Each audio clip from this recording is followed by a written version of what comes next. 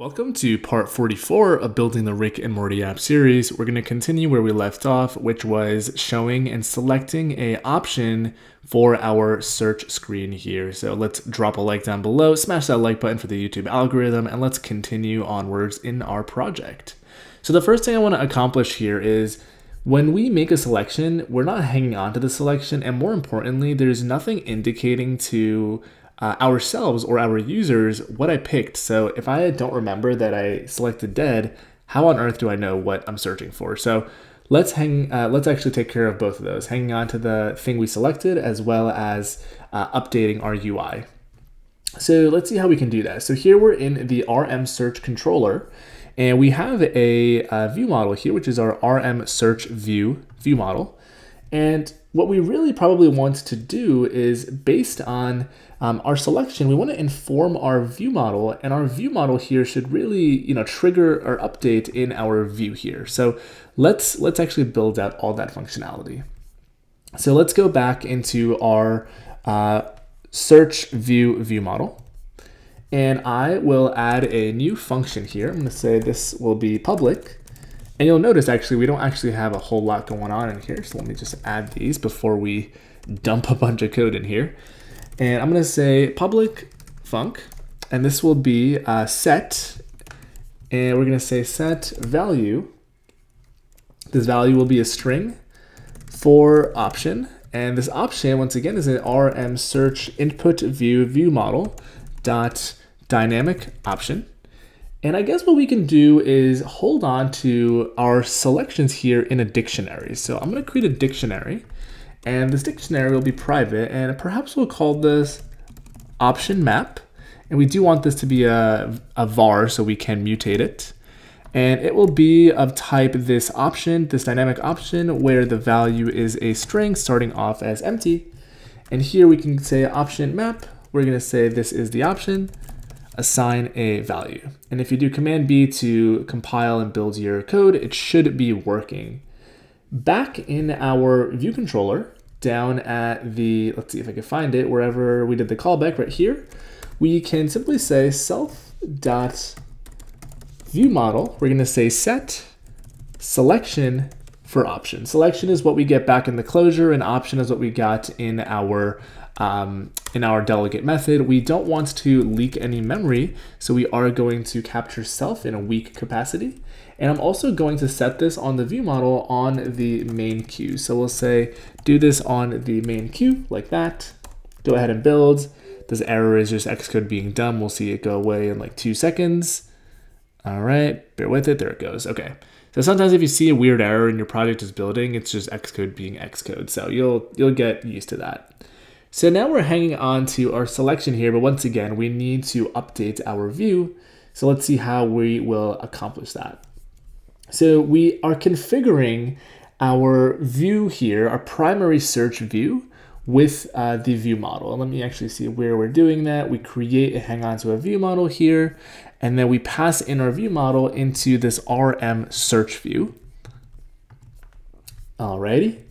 So we pass this into our RM search view.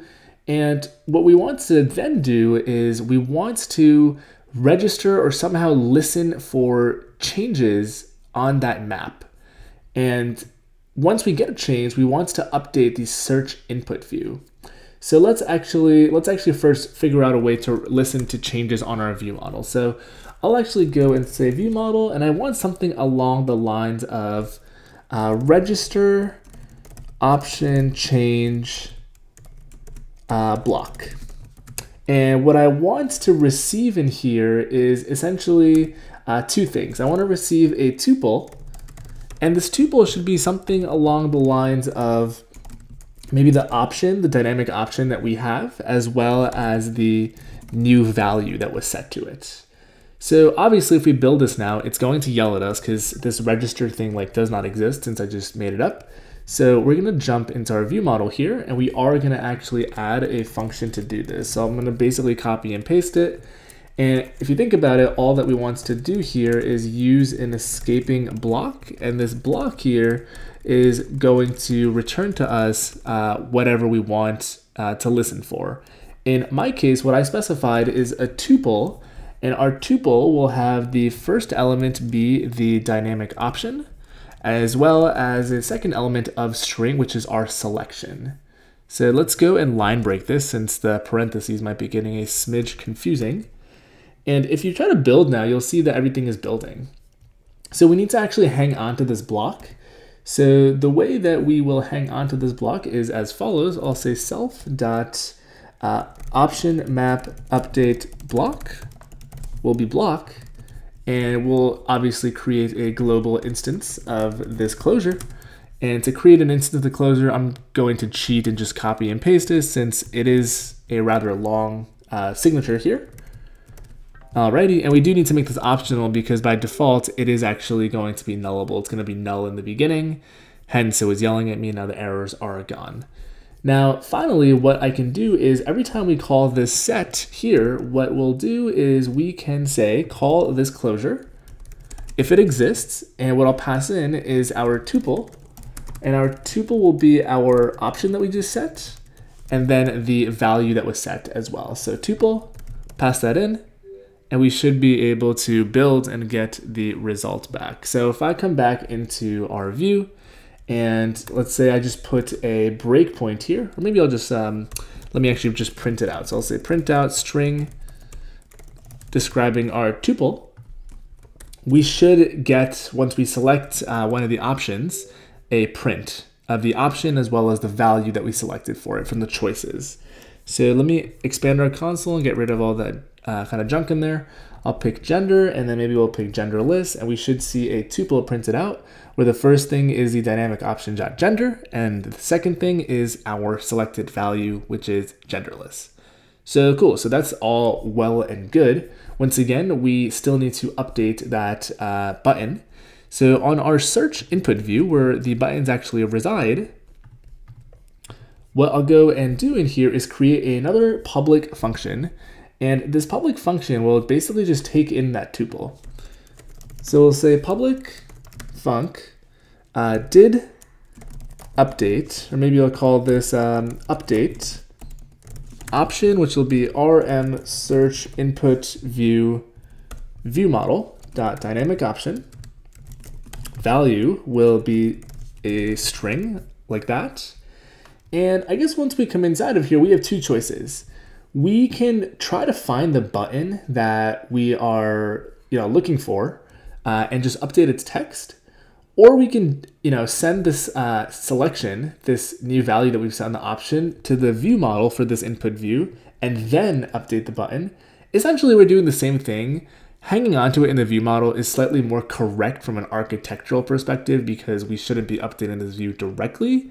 However just to get this working let's first just update it directly so to update it directly, it is rather simple. We want to hold on to our stack view in the global scheme. So what we can do is we can for loop over its uh, children and find the appropriate uh, find the appropriate button to update the text on. So that was all a mouthful. Let me actually go and hang on to it here. So if we create a stack view, I'll say self.stackView will be stack view. Now we don't have a self.stack view, so let me come up here and create it. So this will simply be a private var stack view. And it will be optional because remember, we don't always have a stack view. We don't always have dynamic button options. And once we come inside of here, what we want to do is update options. And if you recall, the dynamic option actually has a uh, raw value, so we want to find the button where the text is that already. So now that we have this here, we can say guard let stack view equal stack view, and we can say give me the arranged subviews that you have. So these will all be buttons. We can do for button in buttons. Now we want to find the appropriate button. So let's say title will be button dot, and I want to say there's a title label on here. Button dot, is it a text label?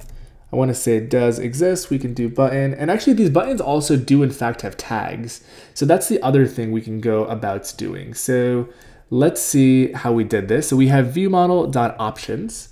So up here we can say did tap button and the way that we're handling it is we're getting the appropriate button. So we can actually copy and paste this exact code instead of for looping over all of them. So the way we get our options is exactly the same. And I'm actually going to just combine this guard statement here. And now we also have our selected here, which will be our target option. And let me actually see how we will do this. So we have a tag and it looks like we actually can't do this because we don't have a sender. So let me actually call this function and then I'm gonna debug this. We're gonna debug this together because I don't wanna cut the video and kind of figure it out on my own because this is, this is how we learn. So uh, once we call this closure, we're gonna say self.search input view and then we call that function updates. This will be tuple.0, the first value in the tuple. This will be tuple.1, the second value. Alrighty, and now this will essentially go ahead and call this function here. And inside of here, we just want to find the appropriate button and update it. And I don't want to loop over necessarily all of them. It would be a little more intelligent if we can do it a better way. So let's see how we can do this. So I actually think there is a way we can leverage this. So we can get all the options out and then we can find the index that we want of the option and that'll be the same as the button. So now that we've got all the options here, that we know we're showing a button for, we want to find the index, and this index we're looking for is essentially going to be from all options, we want to get the first index uh, of, and we want to pass in an option, and this will be the option that we're passing into this particular function. So this will give us the, the index in the array that resides our uh, target option. Then from buttons, we can use the same index and we can say set a title on it. And let me just go ahead and do it in a bit of a better way. So let's say let button will be this of type UI button. And let me just go ahead and build and let's see why this is yelling at me. So let's see buttons here index cannot convert value of type UI view to specified UI button.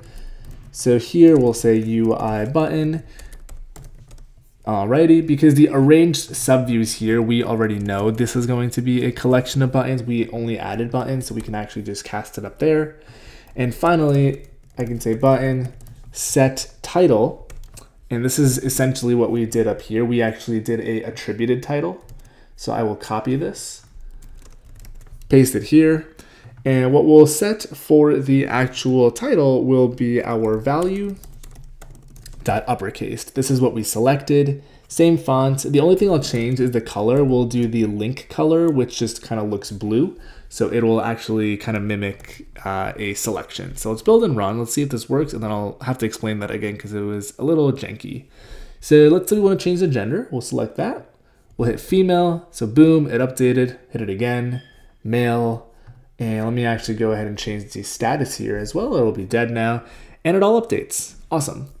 So just to recap, we basically bubbled that call all the way down through the search view, then to the search input view, uh, and we are saying that we will update this view with the target option and the value. So we want to show blue text with this value text. The option is used to derive which buttons text we want to update. So what we're doing to do that is we know that this button has a tag 0, this one is 1. These are the only two options available in the character search configuration.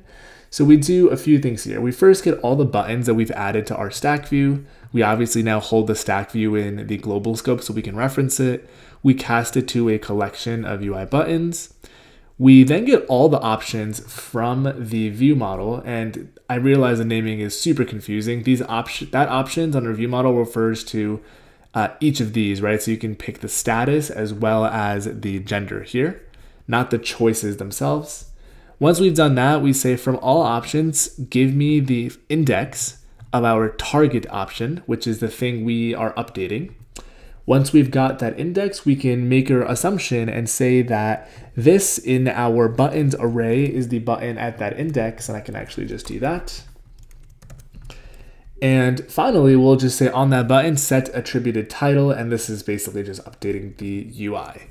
One thing um, I will call out before wrapping up this video is obviously there's no way at the moment to reset your selection. So let's say you don't want to filter by gender and I've selected genderless, you kind of have to select something now. Um, there, there is no premise of canceling. So I guess we could in theory add a uh, all option in here and that'll just kind of nil out this filter. So that's how that will work. And as a byproduct of doing all this um, passing down business into our search input view, we accidentally took care of the other thing that I touched on earlier, which is hanging on to uh, the the value for our search view model. And our search view model will actually be responsible for executing the search. And if you recall in our search controller, when you tap on the search button, see if I can find it, it's going to actually call this function here. And if you recall, the search button is at the top right of the search screen. Right now, nothing's happening, but we'll want this execute search function on the view model. So since we're already basically, you know, kind of in there, let me just go and add this as well.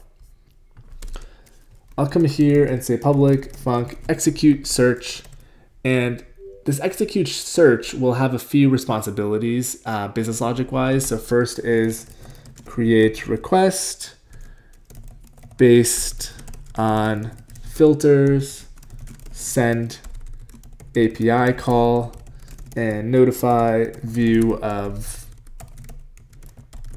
results, no results, or an error.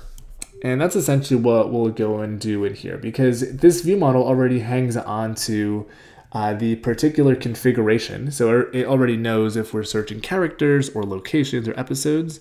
We've not now also held on to a uh, option map here. And I will actually move this up here. We now also hang on to this option map here, which uh, includes uh, A, if we want any query uh, arguments, and if we do, what are they, right? So maybe in this case, we'll say, hey, I want to filter gender to be male. Show me, you know, characters with the first name Rick, you know, a name of Rick and a gender of male. One thing that I just said there that I just remember we don't actually or noticed I don't we don't actually hang on to in here is the actual name of the user uh, that we're searching for. So if you go and type something in here, we want to actually hang on to the name. So let's come in here and say private var search text and this will be uh, a empty string by default. And I will actually add one more function and say set um, query text. And here we will actually say self.search text is text essentially once the user types in here and either hits the search button on the keyboard or the search button up here, we should be able to get the uh, typed uh, actual information out. So um, if I click on this search, if we don't have any text in here, we should be able to get it out. And respectively, if I tap on the search button down here, we should not only see the keyboard disappear, but we should be able to send that text into the view model. So that's all I've got for this video, a little bit all over the place, so let me know in the comments if this one confused you. I'm happy to help. I got a little confusing with passing stuff between so many objects, uh, I think so at least, so drop a like before clicking away. Appreciate you guys sticking around if you've made it this far. I will see you in the next video, and actually, before I forget to do so, let's go to our folder here. Let's stage everything we have done. I'll commit it, commit it and say extend search and push up our changes. And once again, I will eventually be linking the repo in all the videos. I don't think I've done so yet. Maybe I have by the time you're watching this. So it is a public repo on my GitHub. So feel free to take a look, look at the code. And uh, yeah, my hope is it'll serve as a living, breathing um, project for people to reference as they learn. So thanks for watching. I'll see you in the next part.